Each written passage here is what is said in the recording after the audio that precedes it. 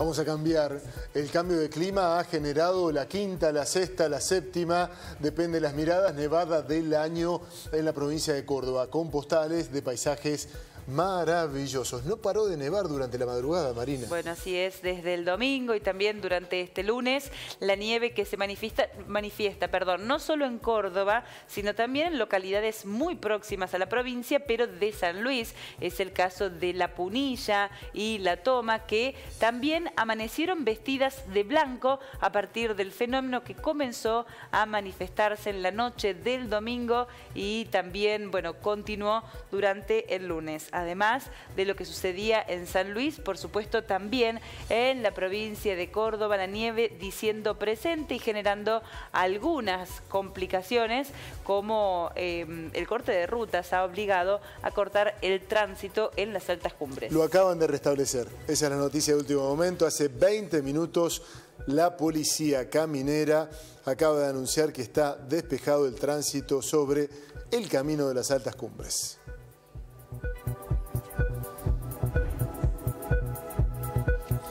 Vamos a saludar a una persona que tiene un trabajo absolutamente maravilloso, del cual disfruta muchísimo. Es José Altavirano, que es bombero y es vaqueano de la zona del Cerro Champaquí. Hola José, buenas tardes, bienvenido. Hola, muy buenas tardes. Buenas, tardes chicos, ¿cómo andan? Muy bien. Qué placer saludarte. Bueno, le decimos a la gente que nos está viendo, que ya lo vamos a compartir, José ha registrado videos increíbles de la nevada en el Cerro Champaquí. Contanos un poquito, José, ¿cómo fue todo esto?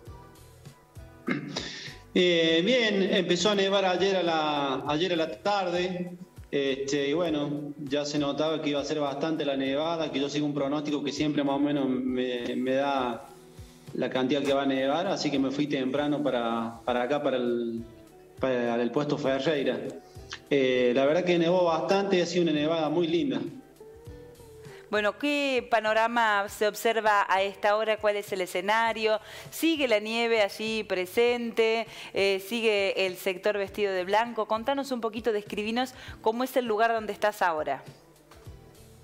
Mira, ahora ya estoy en el cuartel de bomberos, pero sigue la llovina acá en el pueblo y hasta el mediodía siguió nevando al pie de la sierra, que es el puesto Ferreira que están pasando ahora que está a 1.300 metros sobre el nivel del mar, todavía seguía nevando hasta el pasado mediodía.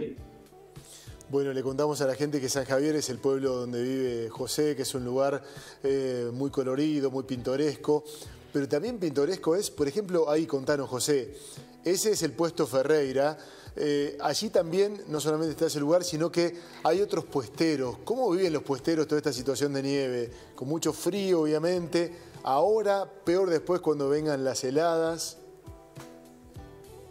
Sí, eh, es como decía esta mañana, la, gente, un poco la gente que ya vive en la sierra está acostumbrada al frío porque es la gente que anda todo el día en el campo.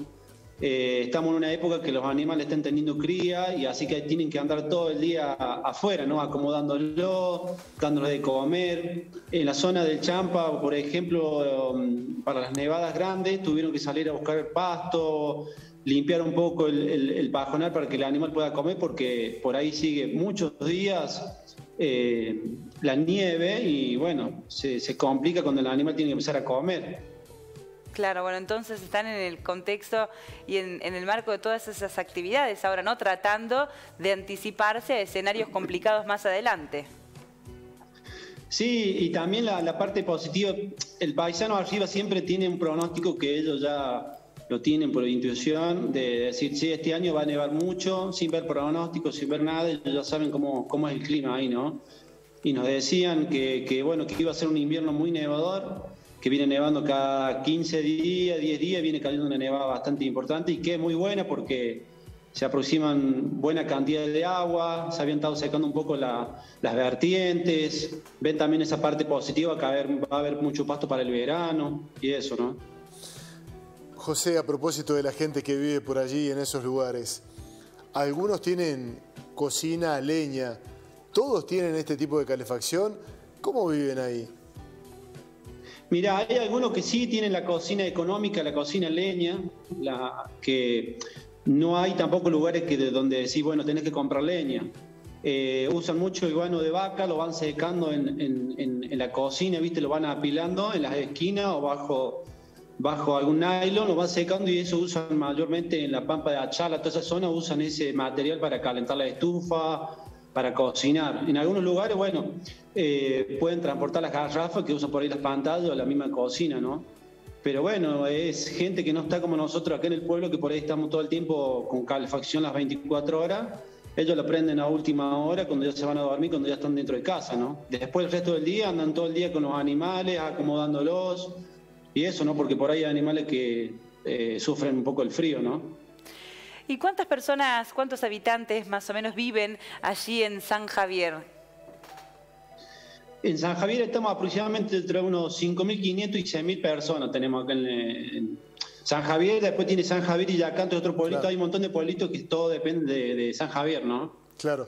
¿Y allí arriba los puesteros, hay muchos en el cerro? Ahí al pie del Cerro Champaquito, el, cordón este, hay más o menos unos 6, 7 puesteros, incluso la, estancia de la Constancia, eh, hay muchos puestos que están a unos 1.300, 1.400 a nivel del mar. Y bueno, hay puesteros que son nuevos y puesteros que ya vienen de muchas generaciones atrás, ¿no?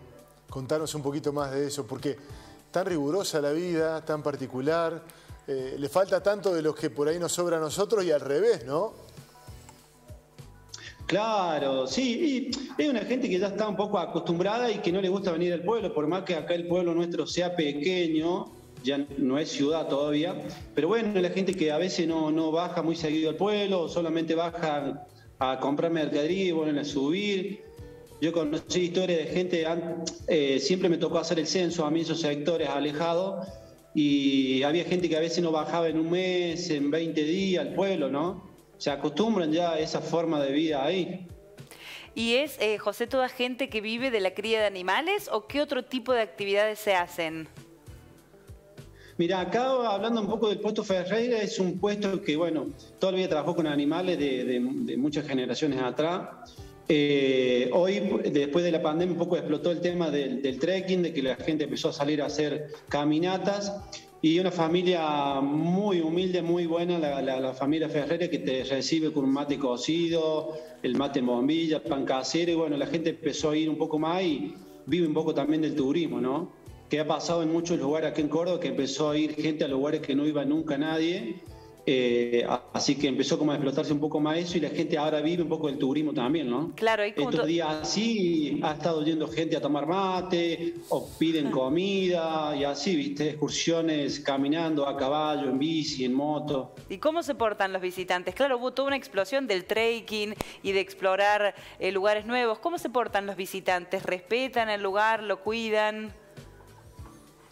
Sí, sí, la verdad que la gente de afuera cuida, cuida bastante, siempre están los carteles de no tirar basura, de bajar la basura, eh, la verdad que bien, y uno anda mucho y lo que ve lo, lo, alza, la muerte que queda lo, va limpiando, pero la verdad que siempre digo yo que es una zona todavía muy virgen esta zona, eh, se cuida bastante, el único temor nuestro nada más la zona esta, el tema de los incendios en en la temporada nada más, pero después el resto de la gente bastante bien. sí, sí. se cuida, todavía se mantiene bastante lindo. Esto significa un alivio para el riesgo de incendios, ¿no? Sí, sí, sí, por suerte sí, porque estamos entrando a agosto, que es un mes bastante complicado, el mes de los vientos, y esto retrasa un poco lo que es la temporada y bueno, hay más cauce de agua también, ¿no? Porque esta es una gran cantidad de agua que va a quedar en, las vertientes, ¿no? Claro, le da otra humedad al suelo. José, y usted que mira tanto el pronóstico, ¿va a seguir la nieve? ¿Qué dice? ¿Qué dicen las aplicaciones? ¿Va a seguir nevando? ¿Cómo continúa? Mira, me sigue marcando que está nevando todavía arriba en la cumbre del Champa hasta la madrugada y después ya se despeja.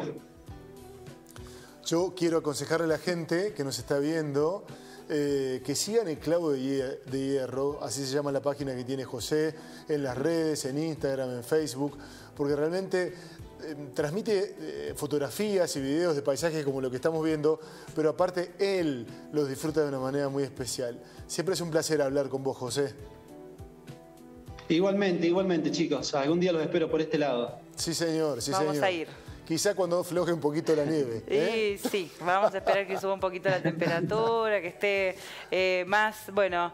Bueno, eh, José era puestero ahí. Bueno, le podemos pedir ayuda entonces. Claro. Si vamos... con- Contanos cómo era cuando nevaba, José, al otro día cuando te levantabas.